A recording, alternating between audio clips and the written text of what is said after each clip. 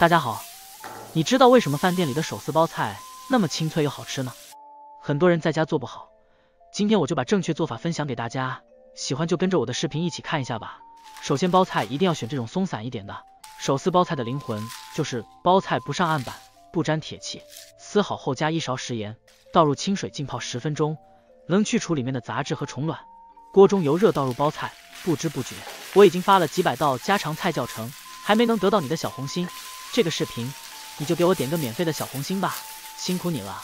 大火炒至七成熟，盛出备用。